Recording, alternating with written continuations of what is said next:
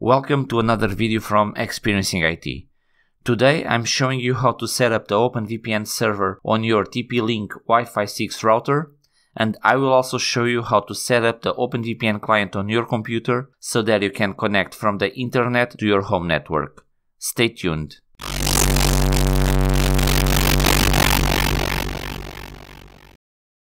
So, to configure the router, in a browser window type tplinkwifi.net to open the router's management console.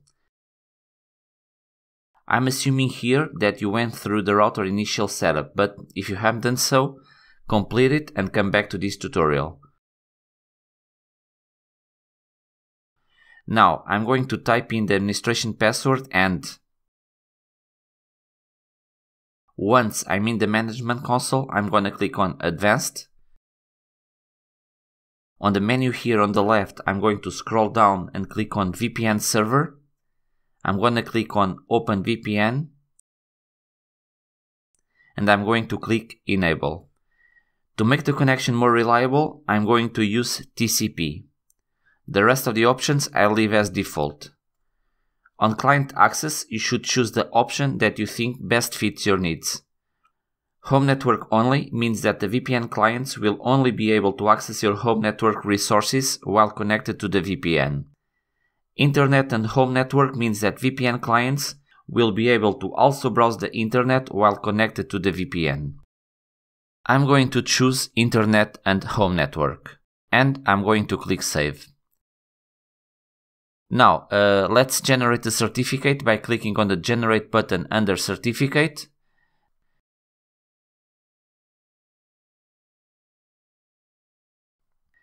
And finally, I'm going to click on the Export button to export the configuration file that will be used by the OpenVPN client. Now, if your router is facing the internet directly, this is all you need to do and you can jump straight to the OpenVPN client configuration. But if your TP-Link router is connected to a router provided by your ISP, like mine, you have to open the OpenVPN port on the ISP router, which is 1194. So my next step is to edit the configuration file and to open the port on the ISP router.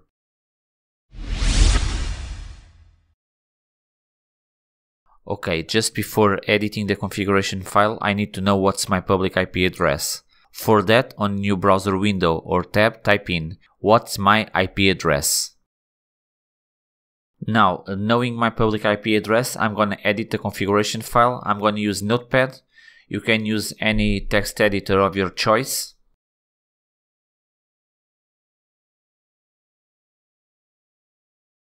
and uh, as you can see down here the file is pointing to the router's internal IP address.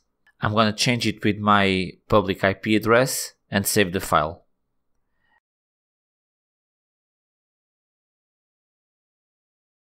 And that's it for the configuration file. Let's move on to open the OpenVPN server port on the router.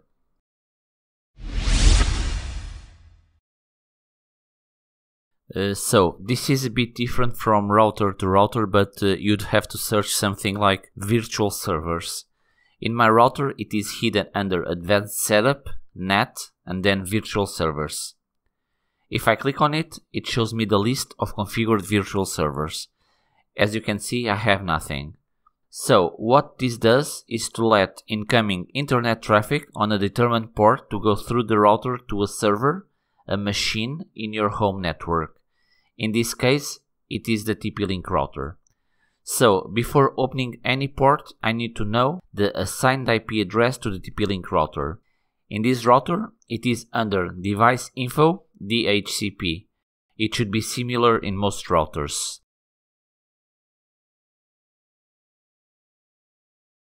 So, I'm going back to Advanced, NAT, Virtual Servers, and I'm going to add a virtual server. The internet interface is PPP 0.1. If you also have several interfaces, you should determine which one is connected to the internet. For this, you should check the information page of your router. As you can see here, mine is saying that the default gateway is the interface PPP 0.1. Let's get back to the virtual server section.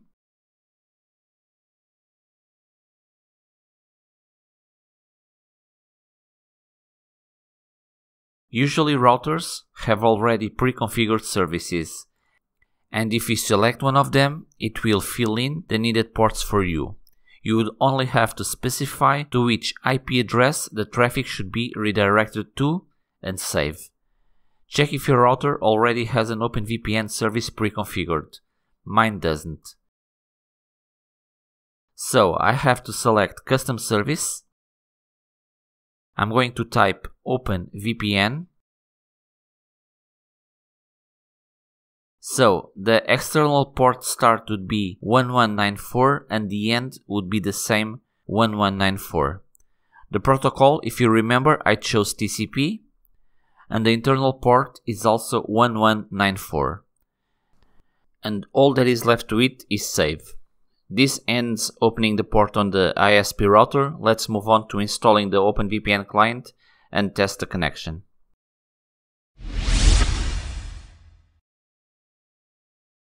So, to install the OpenVPN client, just head over to the address shown on screen.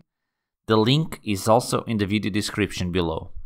Download and install the corresponding version of OpenVPN Connect for your operating system. I'm testing this on Windows, so in my case, I've downloaded and installed OpenVPN Connect for Windows.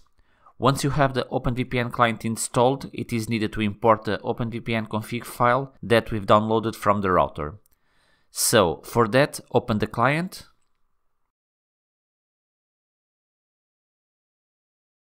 We can skip the onboarding tour.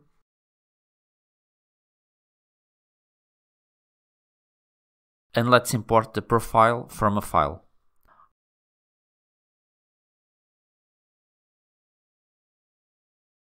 Having this message on the top, uh, it looks like that the profile is already imported correctly, right? But no. To add the profile, you have to click on the Add button a bit above.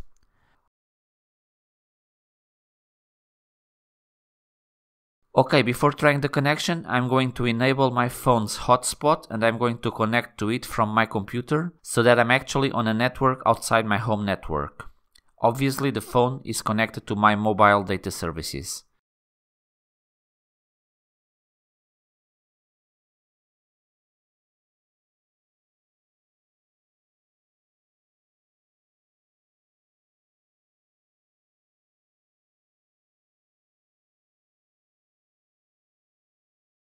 So here it is, my mobile's hotspot.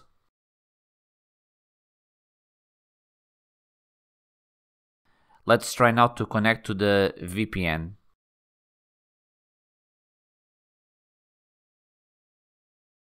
So if I scroll down a bit in the app, you'll see the connection properties.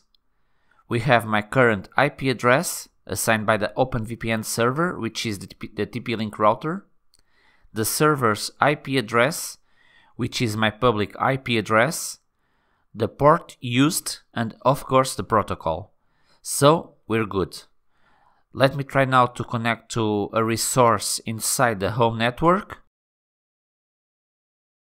I'm going to try and connect to my NAS.